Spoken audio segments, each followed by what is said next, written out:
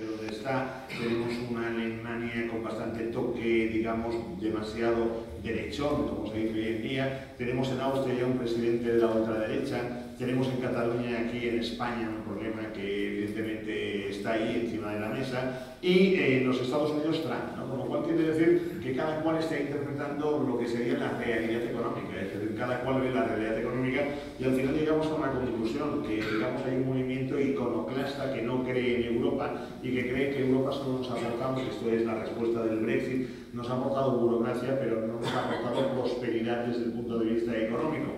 Y entonces cuando esto propende a que haya nacionalismos, a que haya proteccionismos, a que se quieran levantar muros, y yo creo que precisamente una de las grandes ventajas por las que el mundo ha ido evolucionando ha sido la globalización, es decir, de alguna manera que un producto que se fabrica aquí en Segovia se pueda vender en todo el mundo y que no haya barreras en todo el mundo. Por tanto, yo creo que esto ha sido fundamental. Ahora parece que vamos a apostar por la desglobalización. Vamos a levantar muros, vamos otra vez a poner aranceles. Y claro, y a mí me preocupa que la gente ahora no está convencida de lo que es el proyecto de la Unión Europea. A mí me preocupa que quienes votan, en este caso el Reino Unido, son los que hicieron la Segunda Guerra Mundial y me preocupa porque van a votar y van a votar con la convicción de que todavía están en el imperio británico y por tanto quiere decir que en el caso de que ellos den un paso, que se vayan de Europa, pues ellos piensan, hombre, tenemos los Estados Unidos, que evidentemente Trump no les haría muy entero caso, tenemos China, que los chinos no les van a hacer ningún caso, tenemos Australia, que Australia va a su aire, tenemos eh, la India, y en la India le van a decir encantados de la vida, hombre, nosotros estamos encantados de pactar todo lo que ustedes quieran tal, solo hay un pequeño detalle, los mil millones de hindúes tienen permiso de residencia en Reino Unido automáticamente, con lo cual ¿qué quiere decir que Reino Unido se va a quedar descolgado. Entonces, claro,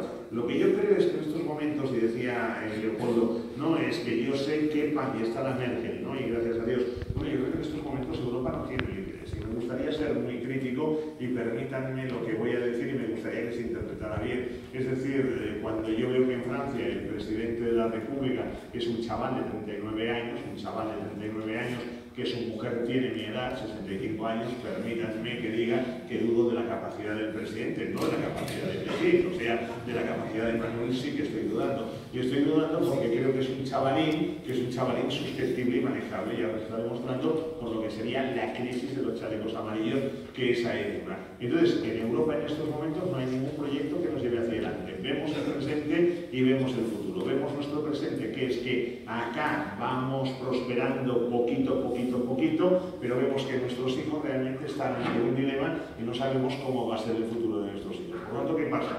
Que Europa tiene que reinventarse en estos momentos, tiene que reinventarse. Somos el centro del mundo y sin embargo tenemos un crecimiento económico que es una birria y tenemos un crecimiento económico que es una birria siendo una grandísima potencia industrial. Por lo tanto, ¿qué hemos de hacer? Y voy a lo que decía eh, Leopoldo del Banco Central Europeo, pero fíjense bien, en el momento en que el Banco Central Europeo quiere normalizar la situación monetaria y dice, yo retiro lo que son los estímulos monetarios con la expansión cuantitativa y voy a subir los tipos de interés, en ese momento la economía europea deja de tirar y tiene que recular el Banco Central Europeo como hizo la Reserva Federal. Con lo cual, ¿qué quiere decir? Que ahora estamos descubriendo algo muy importante, que es que para que la economía tire necesita respiración asistida monetaria, por tanto, necesita que el tipo de interés sea del 0%, con cual quiere decir el todo es gratis. En definitiva, la economía quiere crecer de esta manera porque la economía se ha reconvertido en una economía de muy bajo valor añadido y por tanto necesita respiración asistida.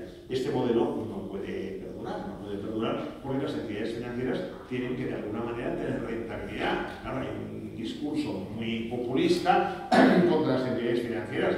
Oiga, para que la economía funcione necesita que haya un riego financiero, monetario que proporcione las entidades financieras. A mí me interesa que la banca gane, a mí me interesa que la banca gane, porque si la banca no gana, mal vamos. Por lo tanto, ¿qué quiero decir? Estamos en una encrucijada tremenda. Este es, digamos, uno de los puntos que yo veo tú. Yo sé que tú eres muy optimista, yo, como soy del español, lo veo un poco más complicado, pero me falta algo añadir para pasarte la palabra, que tenemos un poco la chuleta, que es el tema de la crisis de deuda. Me gustaría destacar que desde el año 2008, antes se nos ha hecho una pregunta que era si todavía continuaba la crisis económica del año 2008. Yo más que decir que puede continuar, que no puede continuar, yo creo que estamos en un escenario económico que ya es el de la crisis del 2008. Es decir, que no hay una nueva crisis, sino que seguimos en lo que es un escenario económico malo y eh, me da la impresión de que la única manera que ha habido para salir hacia adelante ha sido a través de la deuda, fundamentalmente de estímulos monetarios. Y les voy a poner un ejemplo. Al día de hoy, el Producto Interior Bruto del mundo, todo lo que produce el mundo, el PIB mundial, es de 70 billones de euros. 70 billones de euros.